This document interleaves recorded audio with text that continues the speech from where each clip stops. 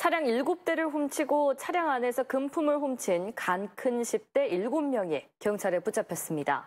무면허로 운전을 하다 사고를 내고 이 훔친 차량이 고장나면 또 다른 차량을 훔치기도 했습니다. 전현우 기자입니다. 문이 열린 승합차 양쪽에 남성 두 명이 선체로 도로를 달립니다. 이들은 차에서 내려 주차된 차량의 문을 열어보고 문이 열리자 화물차 안으로 들어갑니다. 18살 정모군 등 10대 7명은 지난달 25일부터 최근까지 광주와 여수, 화순 등 광주 전남 곳곳을 돌며 차량 터리를 벌였습니다. 정모군 등 10대 7명은 문이 잠겨져 있지 않는 차량만 노려 범행을 저질렀습니다.